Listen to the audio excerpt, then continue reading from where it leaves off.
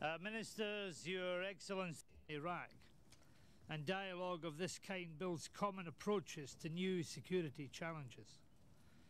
The thing of our national and collective military capabilities.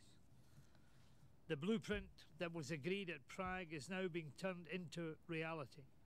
A new cutting edge NATO, our sympathy and solidarity for last weekend's terrorist attacks here as well. We stand un debate fructífero